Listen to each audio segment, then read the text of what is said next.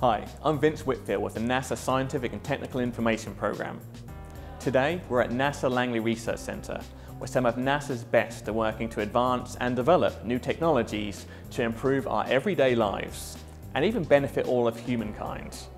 Did you know NASA has been contributing to the advancement of the aviation industry for decades? Some of these advancements include damage-tolerant fan casings, glass cockpits, icing detection, and even grooved runways, which have improved aircraft tyre friction performance in wet conditions by as much as 300%. A green-related technology that was developed and tested here at NASA Langley is a pultruded rod stitched efficient unitized structure, or PRSEUS. The stitches in PRSEUS structures are used to join lightweight composite material layers together to help in the development of lighter, damage-tolerant aircraft. Traditionally, aircraft components are held together using rivets and bolts. This requires that holes be drilled into components, which increases the likelihood that cracks can develop and pose other safety concerns over time.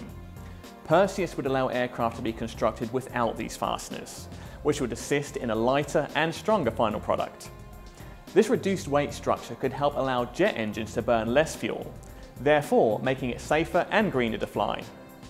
For more detailed information about NASA's PRSEUS composite design, you can find the conference paper titled Development of the PRSEUS Multi-Bay Pressure Box for a Hybrid Wing Body Vehicle on the NASA Technical Report Server, or NTRS.